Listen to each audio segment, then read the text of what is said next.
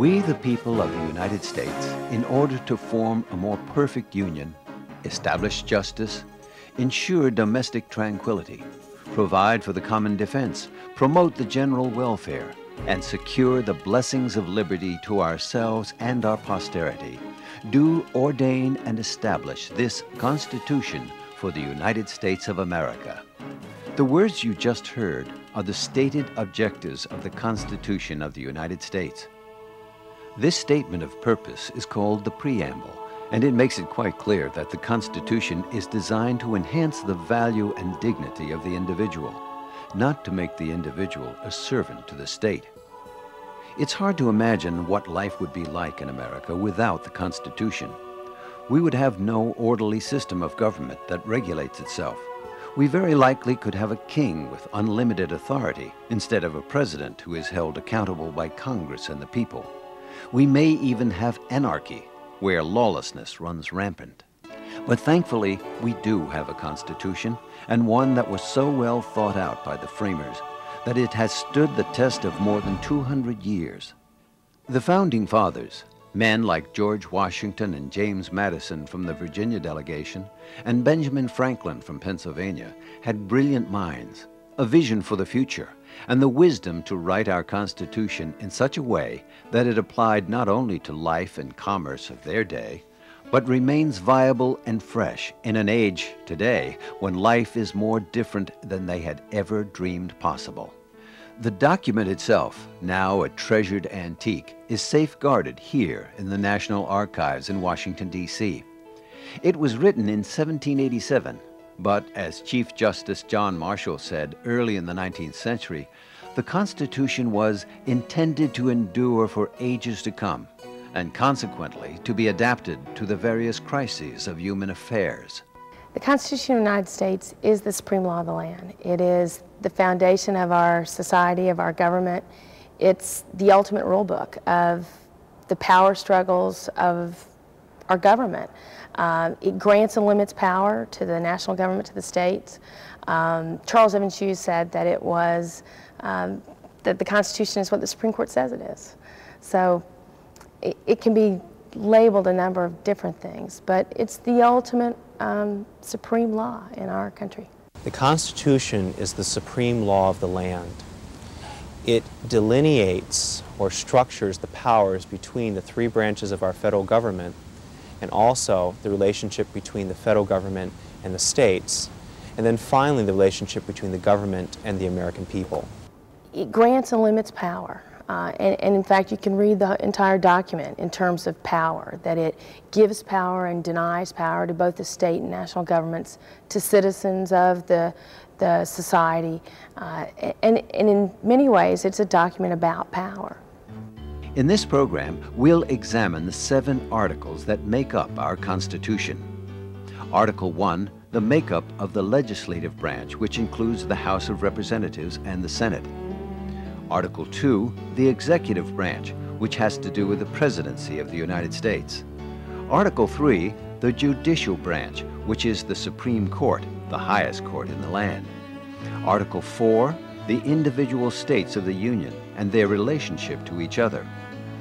Article 5, the making of amendments and how the Constitution can be modified. Article 6, which establishes the Constitution as the supreme law of the land and Article 7, ratification and acceptance by the states. To best understand our Constitution, it's necessary to understand why we need it and the events that led up to it. The very first Constitution of the United States, written after we declared our independence from England in 1776, was called the Articles of Confederation. The leaders of the original 13 colonies quickly recognized its weaknesses it left each of the states vulnerable because each had too much individual sovereignty. The concept, united we stand, divided we fall, was threatening the strength of the states. The lack of a strong central government was causing serious problems in areas such as international relations, common defense, and economic growth. To address their problems, delegates from various states called a constitutional convention. First constitutional convention was here in Annapolis. The Annapolis Convention was held in September of 1786, but not enough delegates were able to attend. The convention was rescheduled to meet in Philadelphia the following May. The summer of 1787 was destined to be one of the most important five months in American history. From May to September that summer, 55 of the country's most brilliant minds hammered out the provisions of our Constitution of the United States of America. Article 1, the legislative branch of government. This article is made up of 10 sections which set up and define the function of the legislative branch, which is known as Congress. Before going into these 10 sections, it's important to understand that our government is made up of three distinct branches. The legislative branch, which makes the laws, the executive branch, which carries out the laws, and the judicial branch, which tries cases in court and explains the meanings of the laws when disputes occur.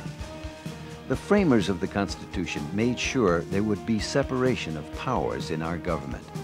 Each branch has its own distinct powers.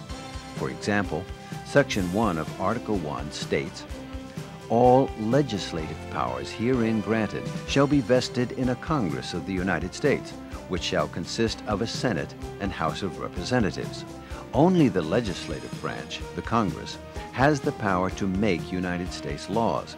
And even the Congress has a separation of powers, being divided into two legislative bodies. The House of Representatives introduces new laws and votes on them. If passed by the House, the law then goes to the Senate, where the new law is again voted on.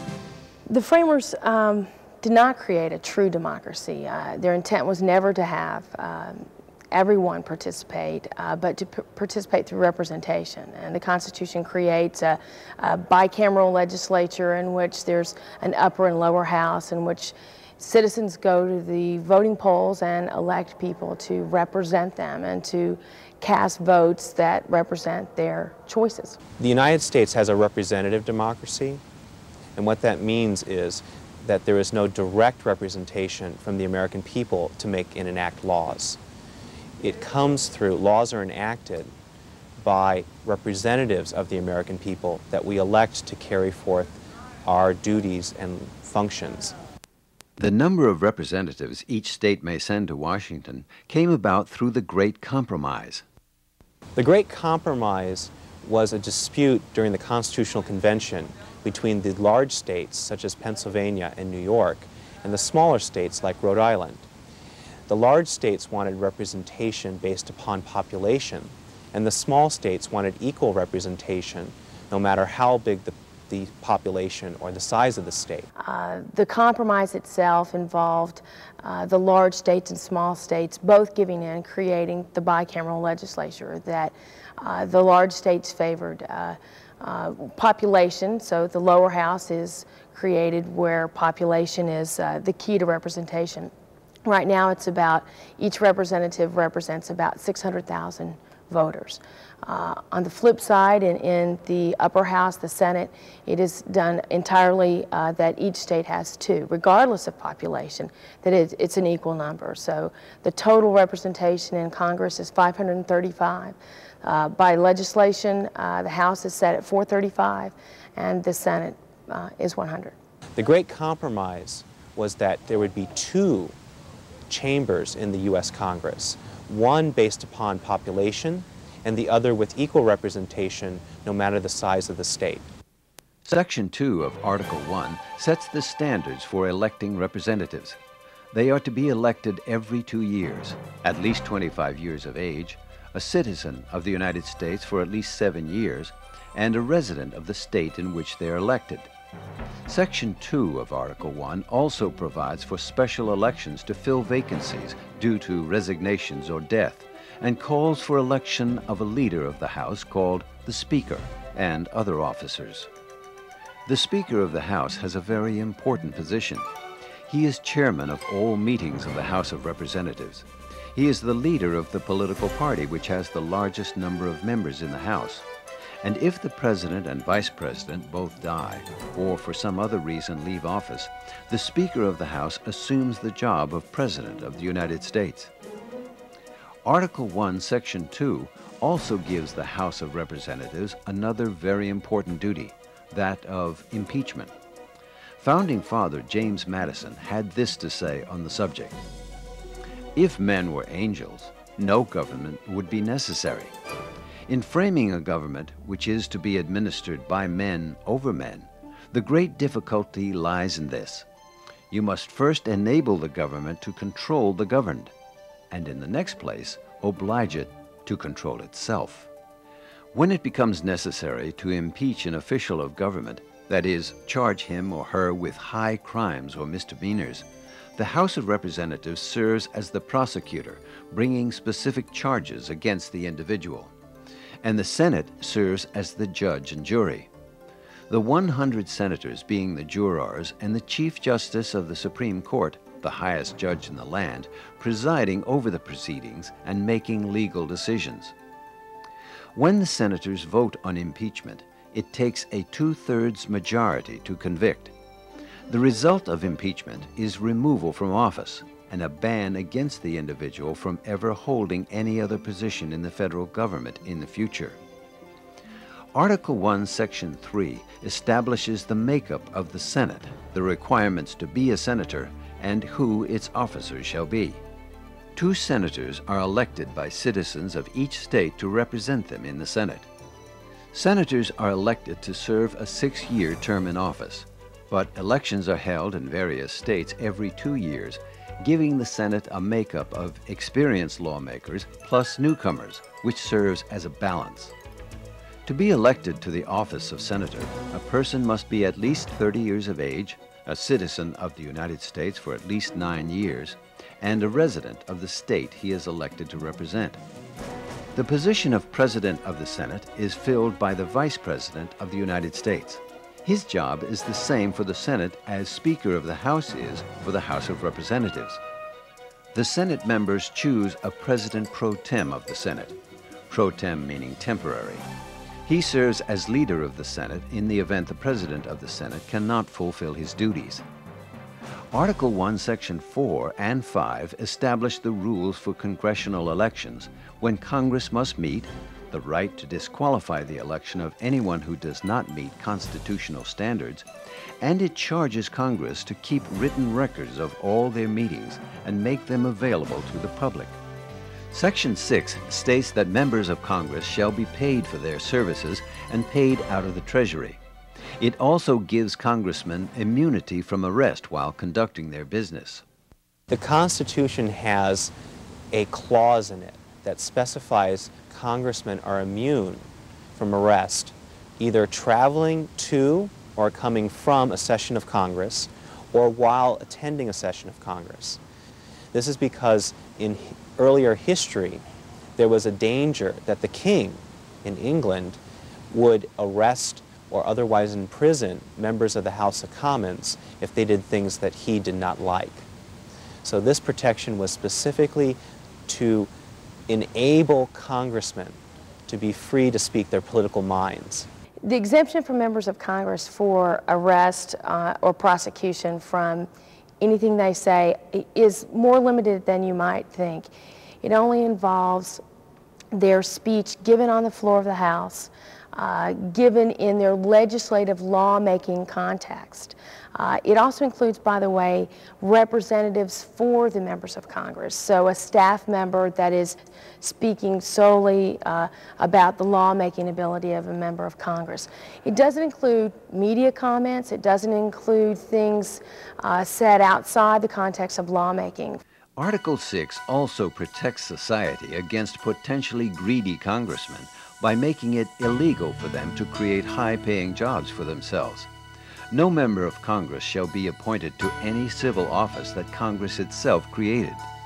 Likewise, if a person employed by the government is elected to Congress, he or she must quit that government job. Section 7 of Article 1 explains the veto power of the President of the United States. Before a bill becomes law, the President must sign it the Constitution gives the President 10 days to sign or reject a bill. If he hasn't signed it within 10 days, it automatically becomes law. Section 7 gives the President the right to veto or reject a bill, which returns it to the House that originated it along with his objections. Congress then has the right to reconsider the bill. If both houses of Congress, the House of Representatives and the Senate, pass the bill with a two-thirds majority in both houses, the bill will become law in spite of the President's objections. The framers were concerned of uh, a monarchy, of power being housed in one area, so that they intentionally designed a system where large numbers of people have to agree or form some consensus for things to be accomplished. Uh, for example, to pass a piece of legislation, uh, both houses of Congress must agree to it in the exact same word and form. It must be sent to the President of the United States, who can either sign it or veto it. It then can be overridden with a veto. There's even a provision for a pocket veto, so that it takes at least two houses uh, of Congress, and it takes the President as well, so it takes two branches of government to accomplish that feat of making something a law. Section 7 of Article 1 gives the House of Representatives the sole responsibility to write legislation which is meant to raise revenues. Both houses, of course, must agree to pay such legislation. The reason tax legislation must start in the House of Representatives is another example of our Founding Fathers' wisdom. Our government must have money to conduct the business of our country, and it's the citizens who must pay the bills by way of taxes. But if we don't like the way our representatives are spending our money, new elections come around every two years, and we can vote our representatives out of office. Senators are more difficult to remove since they're elected to six-year terms. Much of Section 8 of Article 1 has to do with the finances of our country. The first clause of Section 8 gives Congress the power to collect taxes to pay the debts and provide for the common defense and general welfare of the United States. It also gives Congress the power to borrow money on the credit of the United States, to regulate commerce with foreign nations, and regulate commerce among the several states. These regulations include taxes which create another source of revenue for the government. Article 1, Section 8 lists off 18 enumerated powers of Congress. Uh, they include things like raising and supporting armies, but one of the powers is to regulate commerce, uh, both between the states and between the countries and the Indian tribes. Uh, the Commerce Clause is deceptively simple and enormously important.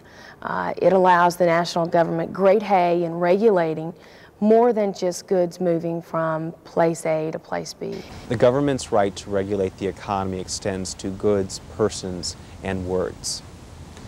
We have expanded the traditional notion of interstate commerce to reflect a growing and more sophisticated economy and our, and our current ideas of what constitutes interstate commerce includes virtually all interactions in our present economy, including goods, including ideas, and finally including persons and the work that persons do in our economy. Uh, it's been used to regulate a number of social ills, such as civil rights. Almost all the civil rights legislation uh, and changes have come about through Commerce Clause uh, cases, uh, so that the Commerce Clause is much larger than you might imagine. It's include the regulation of words through uh, the Interstate Commerce Commission. It's include the regulation of mail, uh, the regulation of transportation, uh, all sorts of things, so that it's a, it's a much larger right than uh, probably you would think upon reading it.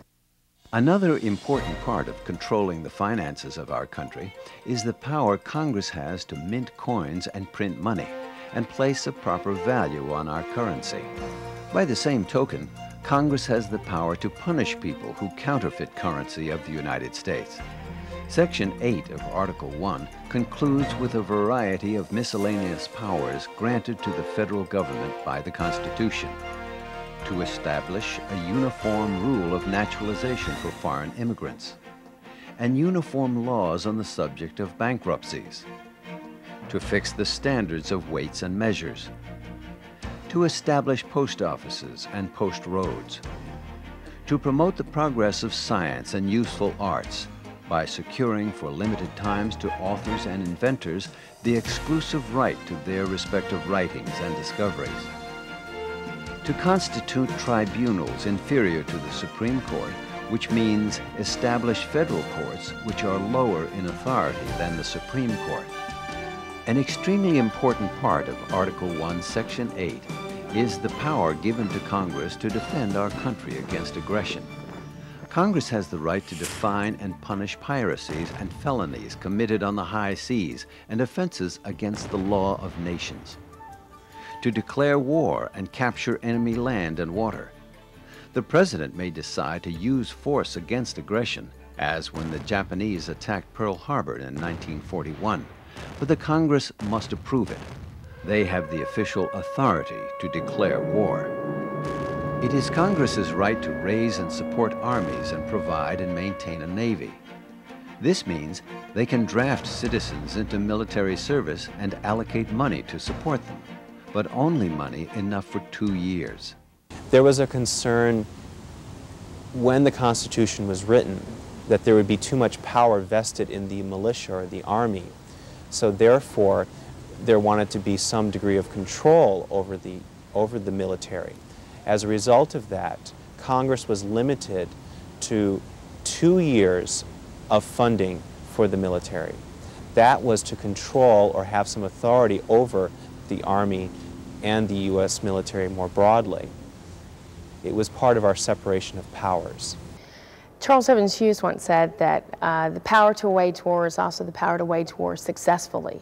That uh, the creation of Congress's power to raise and support armies also allows them to only incur them for a, a small amount of time in the sense that uh, the framers were concerned that the the, that the armies would be freestanding, that they would not be under civilian control. Uh, one of the things that makes our system of government very unique is that the head of our military is a civilian. Uh, it is not a member of the armed forces. Article 1, Section 8 also sets the guidelines for the establishment of a district not exceeding 10 miles square, which is to be the seat of the federal government. This district has become known as the District of Columbia, which is not a state, nor part of any state. Its only city is Washington, and it's the home of our federal government, including the President, Congress, the Supreme Court, and various supporting agencies.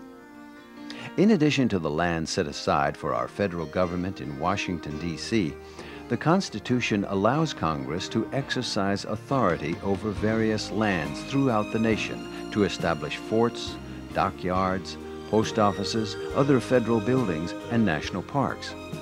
The government is the largest landowner in the nation an important clause that is found at the end of Article 1, Section 8 is sometimes called the Elastic Clause, since it lets Congress stretch its powers to fit the changing needs of an unseen future. It states Congress has the power to make all laws which shall be necessary and proper for carrying into execution the foregoing powers. These enumerated powers were clarified in 1819 by the Supreme Court. Chief Justice John Marshall wrote, The government of the Union, though limited to its powers, is supreme within its sphere of action. In other words, where Congress has the power to act, its actions take precedence over state actions. Article 1, Section 9 contains some very important fundamental American liberties, such as the writ of habeas corpus. I think the writ of habeas corpus is extremely important. Uh, in, in American history, or actually Old English history, tells you a lot about it. What the word habeas corpus means bring, means bring me the body. It's intended to be an important protection against false imprisonment. A habeas corpus writ is something that you can take to the federal judiciary and say that you are being held unconstitutionally. So the writ of habeas corpus requires that the government, be it the state, the national government, the city, whatever level of government, uh, can only hold you for a certain period of time, and it's usually about 24 to 72 hours before you're brought before a judge told the charges that are facing you, and are officially arraigned by the court. And within that time period, uh, the government must act or they must let you go, uh, which is a tremendously important right. Habeas corpus is considered one of the most fundamental and important guarantees in our Constitution. The balance of Article 1, Sections 9 and 10 deal with clarifications on tax collection rights and restrictions on states to not infringe on the federal government's constitutional privileges. One interesting clause near the conclusion of Article 1 prohibits any title of nobility being granted by the United States or any person holding public office accepting a title from any king, prince, or a foreign state. A clear reaction to the power of dictators and monarchies seen so clearly when the colonies were under British rule. Article 2, Section 1, the executive or presidential branch of government, Section 1 states that the executive power shall be vested in a President of the United States of America. No single sentence in the Constitution has been debated so hotly as this one. The question remains, what is the executive power? Executive power is very different when you contrast it with the legislative power. Whereas Congress has these enumerated list of powers, these 18 things listed off in Article 1, Section 8, Article 2 doesn't do that for the executive. Uh, the power is much more vague, uh, which has allowed presidents to interpret it broadly. George Washington tried to steer a middle course between a king-like presidency with too much power and a very limited and weakened presidency which would be ineffectual to the tasks demanded of our federal government. Some have interpreted it to mean only those things strictly enumerated in the Constitution other presidents have said it's, it's anything that, that uh, is not unconstitutional. In other words, if there's no limit on it, it's a, it's a power that I hold. Continuing through the line of presidents, we see these same issues of too much power or too little power with John Adams and then Thomas Jefferson. In the modern era, numerous presidents have taken, so to speak, a liberal line with regard to their powers as in, given in the Constitution. For example, President Truman seizing uh, private industry for concern of the war effort. President Reagan, for example, directly defied an act of Congress during the Iran-Contra scandal by selling arms to the Iranian government. We have traditionally given wide berth to the president when it comes to foreign affairs. At the same time, it seems like the presidents often want more latitude or more control when it comes to these important issues. Article 2, Section 1 spells out the qualifications to be president. He must be a natural born citizen of the United States, at least 35 years of age, and a resident of the United States for at least 14 years he shall hold office for a term of four years and be elected by the Electoral College. This original constitutional mandate has since been modified. The framers of our Constitution were very concerned about the direct election of the President by the American people. So the framers implemented something known as the Electoral College. The Electoral College uh, is one of the things that uh, is the most misunderstood by Americans. Uh, I've actually uh, seen quotes in the news where Americans will say the Electoral College that they would love to send their child there if they could afford the tuition. In each state in the United States, we elect representatives who then meet after the November election in the capital of that state to directly elect the president. There are, are two times in history where actually the popular vote getter did not actually get the most electoral votes. The way the Electoral College works is that each state gets a number of electors that are designated by the number of House members and senators they have combined. So, for example, Vermont and Wyoming have three. They have the smallest number available. They have one House member and two senators. In California, a large state, you have something like 50. The Constitution stipulates that the President is to be fairly compensated for his duties, but that his salary cannot be increased or decreased during his term in office. The President receives a lot of administrative help from the cabinet departments. The Constitution did not establish the cabinets, however. There's no mention of them in the Constitution. But our first president, George Washington, appointed four men to be his closest advisors.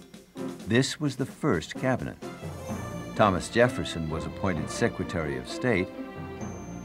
Alexander Hamilton was the first Secretary of the Treasury. Edmund Randolph was Attorney General. And Washington named Henry Knox as his Secretary of War, a post now called Secretary of Defense. Over the years, as the country grew, many more cabinet departments were added to the executive branch of government. The Constitution provides for a replacement of the president in case of death or other removal from office. For example, Franklin D. Roosevelt died while in office. He was succeeded by his vice president, Harry S. Truman. If Truman had died while president, the presidency, according to the Constitution, would have gone to the Secretary of State, who is appointed by the president. Presidential succession then went to other members of the president's cabinet, all people appointed by the president and not elected by the people. In 1947, Congress saw this as a potential problem and changed the presidential succession to first the vice president, then to the Speaker of the House of Representatives, then to the President pro tem of the Senate, individuals who are elected by the people and not appointed by the president.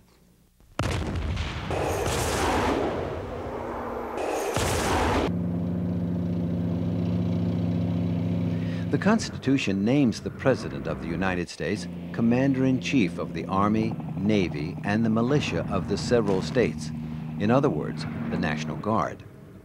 Article 2 gives a variety of other powers to the President.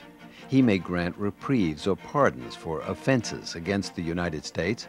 He has the power to make treaties, appoint ambassadors to other countries, appoint judges to the Supreme Court, and fill vacancies in the Senate. Many of the President's appointments must be ratified by a two-thirds majority vote of the Senate, but many don't, which gives the President significant power. The President has enormous influence over the executive branch in his appointment power. The President has the ability to appoint literally hundreds of officials in the executive branch. These are known as political appointments Many require, however, as a check upon presidential power, the advice and consent of the Senate. Presidents are charged with the uh, requirement of taking care to faithfully execute the laws. And in their process of doing that, uh, the logic of the framers was to allow them to put people in positions to assist them in executing the laws of the nation. The President, while requiring the approval or the consent of the Senate to appoint someone ahead of a branch can absolutely remove someone at his own discretion.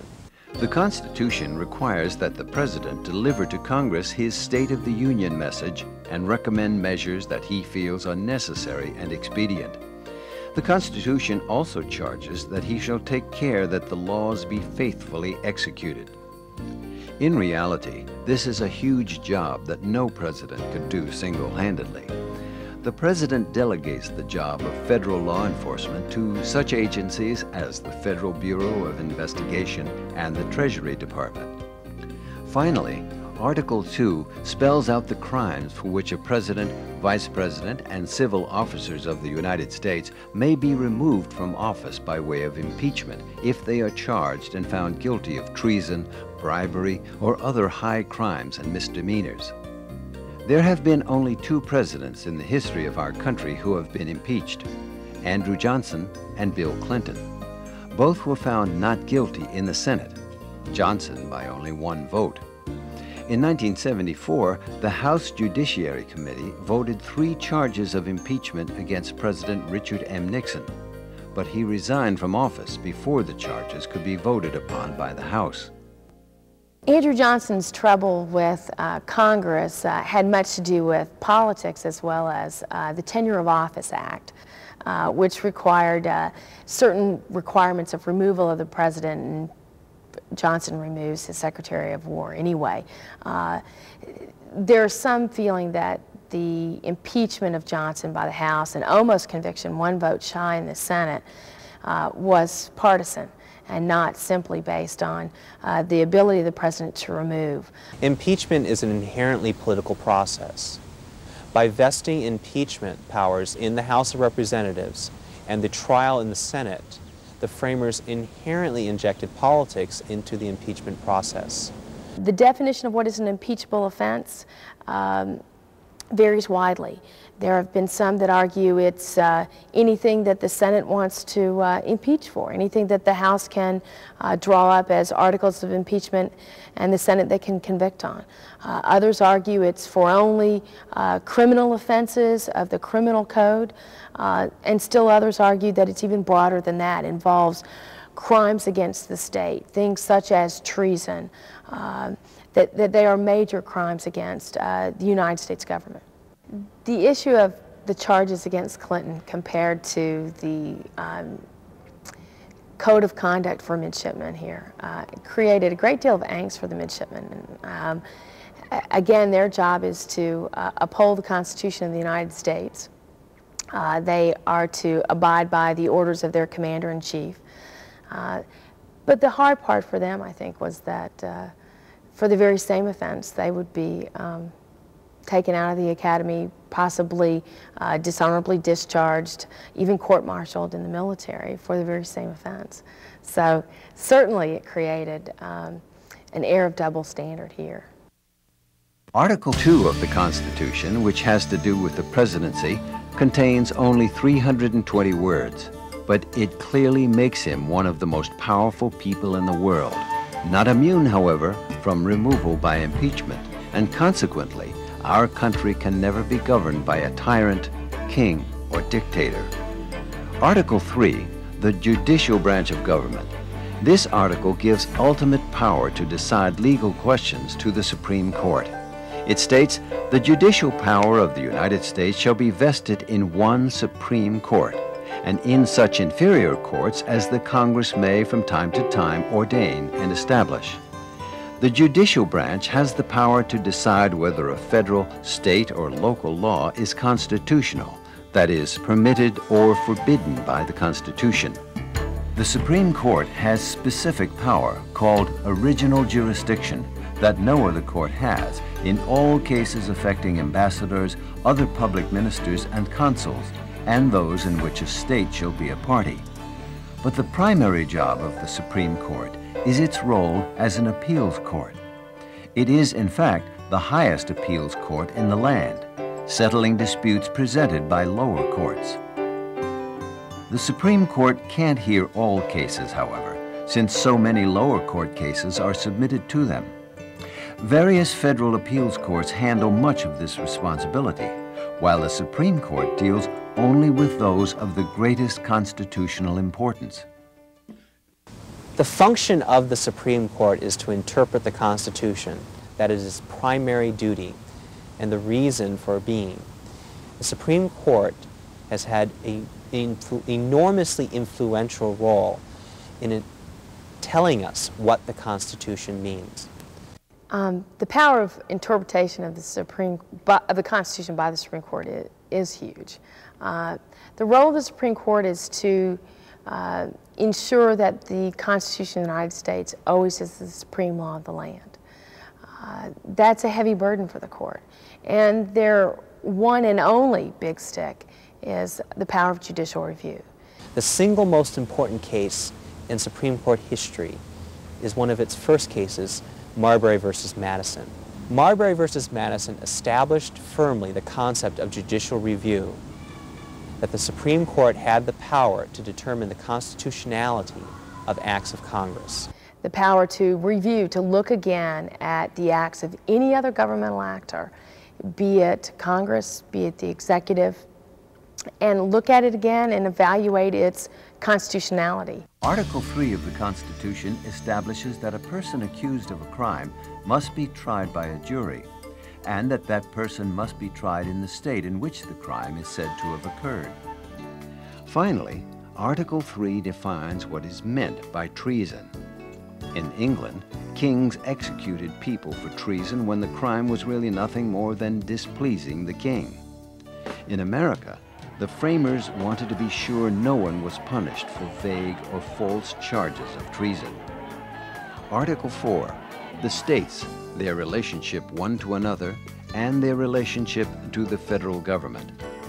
Section 1 of Article 4 says that full faith and credit shall be given in each state to the public acts, records, and judicial proceedings of every other state.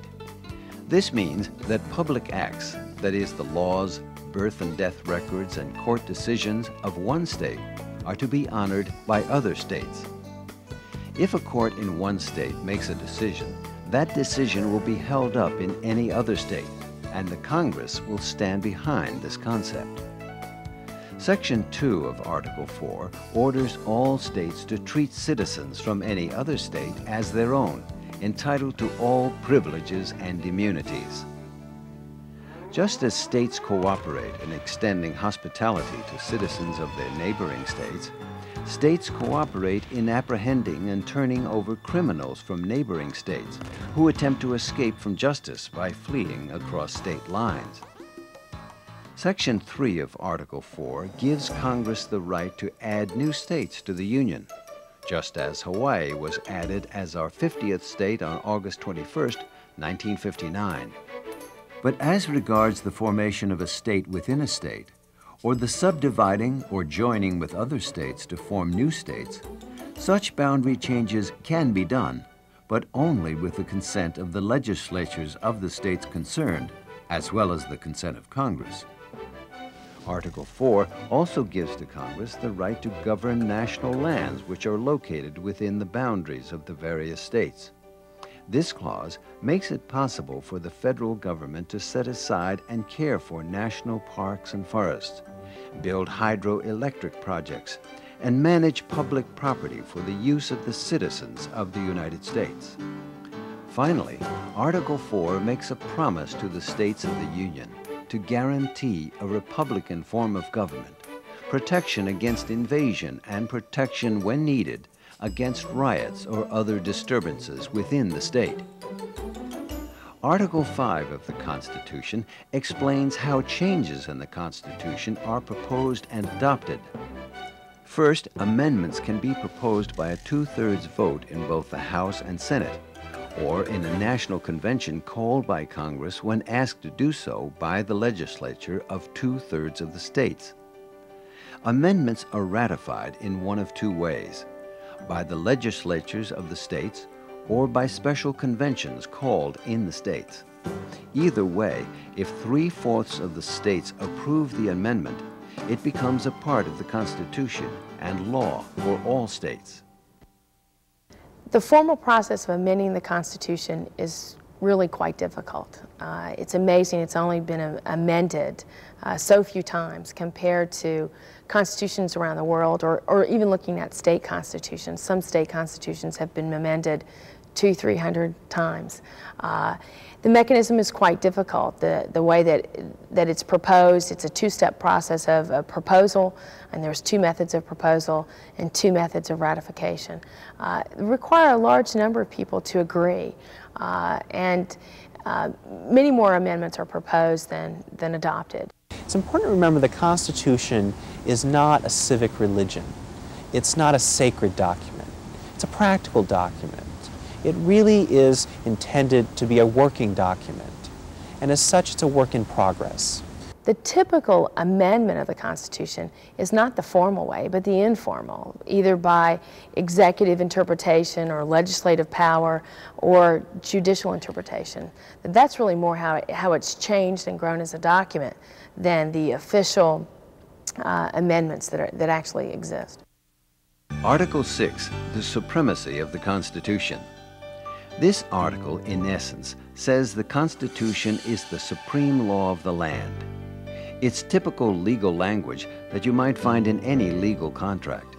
In this case, between a government and its people, affirming that the new government will pay its debts, that this is the supreme law of the land, and the judges in every state shall be bound thereby, and that every official of the federal and state governments shall swear to uphold it.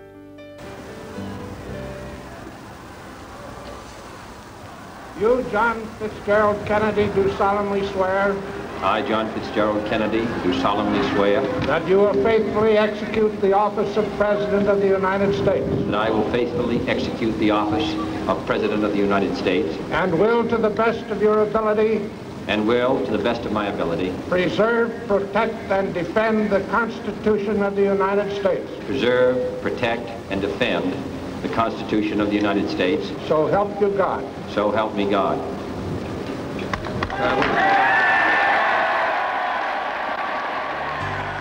Article 6 also sets up a uniformity of law for the entire nation. The Supremacy Clause is uh, part, part of Article 6, which says that uh, it sets up the hierarchy of law. It says that the Constitution is the supreme law of the land, treaties thereof, laws of Congress, state constitutions, state laws, etc., down, down the line. The reason that's significant is that whenever these two laws conflict, the winner is always the higher law, which means it's the Constitution or it's sometimes the national law, which has great effect when the states and Congress both want to deal with something, both want to regulate it. Um, if the states do something which violate federal statute or federal law, it's negated by the Supremacy Clause. So it's, it's significant that it, it, it is a unique requirement of our federal system that for laws have to be uniform for the predictability of citizens to understand what the law is, that you can't have the nation allow one thing and the state not the other, et cetera. So, so the Supremacy Clause is really important. Ratification of the Constitution. The authors and signatories of the Constitution set their names to the document in affirmation of their agreement. These were the greatest political minds of their day and the document they had created is a marvel of democracy in action. Proof of its validity is the fact that within a year, 11 of the 13 original states had approved it, making it the supreme law of the land. In 1789, George Washington became our first president, and all 13 states had ratified the Constitution by 1790. Yet there were some such as anti-federalist patriots like Thomas Jefferson, who feared the Constitution didn't go far enough to protect individual rights. Their concerns led to the Bill of Rights. I think sometimes we tend to make the document or we tend to make the Constitution too sacred instead of realizing that it was created by men and women who were fallible just as we are. The real intent of the Constitution was as a preventative document, if you will. And it's important to keep that in mind because that's why we have a separation of powers, to prevent too much power from getting into the hands of a person who would misuse it, rather than having too much power from getting into the hands of a person who could use it for good. It's a pretty complex document. Uh, there's a wonderful story of a, a, man who teaches, he no longer teaches constitutional law at Yale, and taught it for years, uh, years and years. And about this time he's about 80 years old, and someone asks him, what does the Constitution mean?